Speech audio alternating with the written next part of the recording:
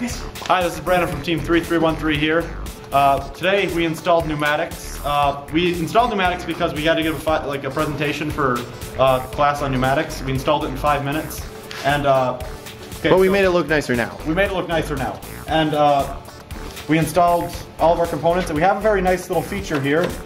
Um, it's called this three-way valve here. We've been, been getting a lot of questions about.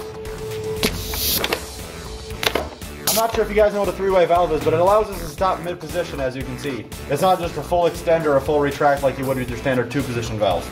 And we've been getting a lot of questions on whether this is legal or not. From what we've seen so far, it is. Mounting brackets.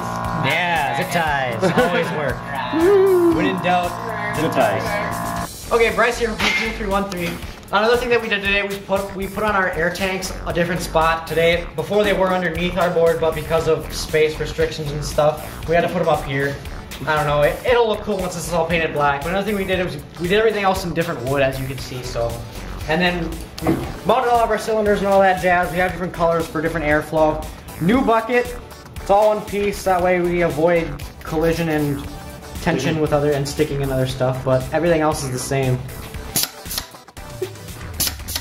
What's a what's a nice programming feature about that piston? Uh, it, it only, well, you only have to press the button, but um, Yeah. it, it, it is always trying to retract, so it will never get caught.